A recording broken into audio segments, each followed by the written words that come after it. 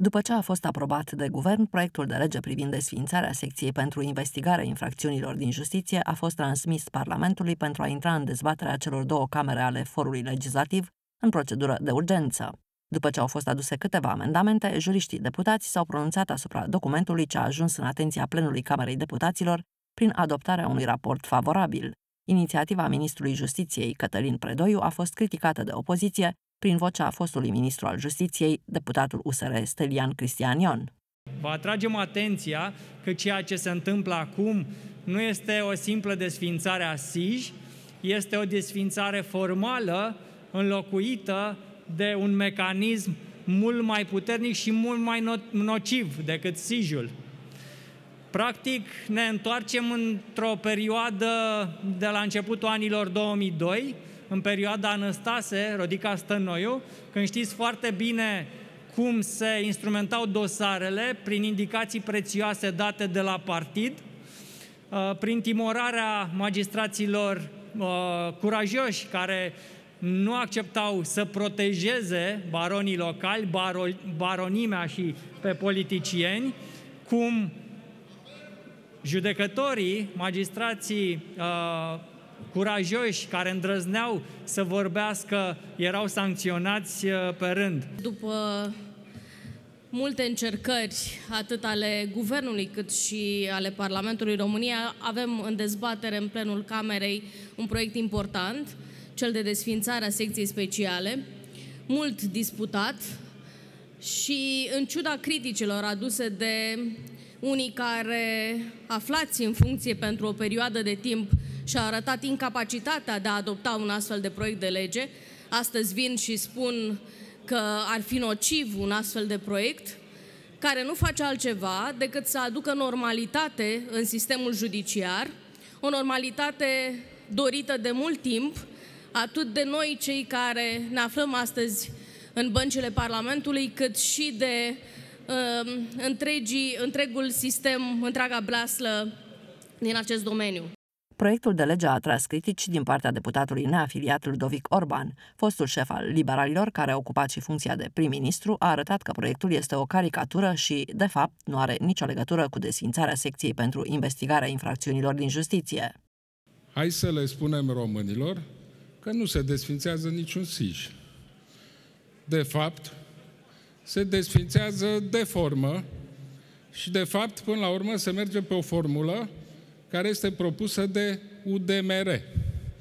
Acum că PSD sprijină acest nou SIJ, este normal, pentru că ei au inventat SIJ-ul, ca nu cumva DNA-ul și DICOT-ul să poată să cerceteze pe competența specifică acestor uh, parchete și că îi deranjau pe unii magistrați care îndrăzneau să dea condamnări. Am înlocuit un coleg în Comisia Juridică și am fost foarte mirat să aflu că într-o țară în care s-au emis 60.000 de mandate pe siguranță națională și în care n-a fost nicio condamnare pe siguranță națională, într-o țară în care au avut loc uh, niște înțelegeri la vârf numite protocoale, în totală sfidare a procedurii penale, într-o țară care a primit de la UE liste de inculpați și ce se întâmplă în procesele lor, în această țară, noi vrem să desfințăm orice fel de control asupra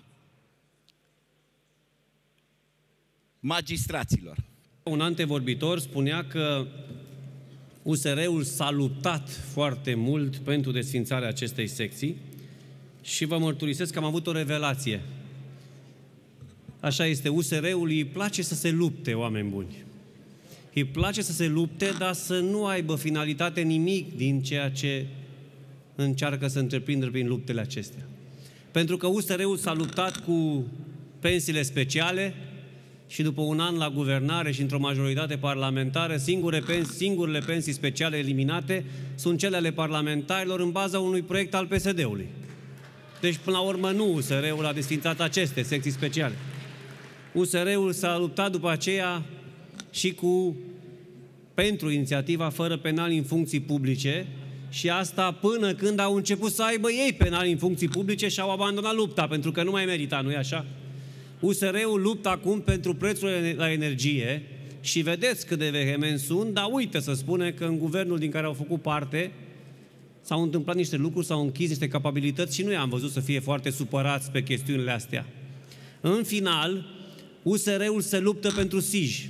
Și nu cum ne așteptam cu toții pentru desfințarea SIJ, USR-ul se luptă pentru menținerea SIJ. Pentru că dacă SIJ se desfințează, pentru ce se mai luptă USR, că nu mai pentru ce? În lipsa consensului politic invocat de liderul social-democraților, votul majorității a decis în favoarea adoptării proiectului de lege privind desfințarea secției pentru investigarea infracțiunilor din justiție. Documentul a fost adoptat cu 205 voturi pentru, 90 împotrivă și o abținere. Explicarea votului a făcut obiectul unor alte puncte de vedere exprimate de opoziție. Majoritatea aceasta ridicolă a mai dat încă un picior în spate justiției din România, transformând judecătorii în instrumente. Și vă mirați că oamenii nu vă mai cred, vă mirați că oamenii privesc Parlamentul ca pe o adunătură de netrebnici, vă mirați că ne pleacă tinerii din țară. Păi astăzi ați votat încă un argument ca generațiile acestea care astăzi termină facultatea să spună nu sunt șanse în această țară, pentru că până și justiția vreți să vă așezați, domnilor din PSD-PNL, cu lichelele de breloc, vreți să vi le așezați la buzunar. Să nu uităm că România plătește din cauza proceselor pierdute la CEDO milioane de euro. Suntem cea mai penibilă justiție din Europa. Și venim aici să apărăm ce? Haideți, vă rog frumos, întâi să facem ordine, să-i luăm președintelui puterea de a numi și procurorii, pentru că sistemul de justiție trebuie să fie independent. Proiectul de lege privind desfințarea secției pentru investigarea infracțiunilor din justiție urmează să intre în dezbaterea senatorilor și, cel mai probabil, săptămâna viitoare vor acorda și votul final.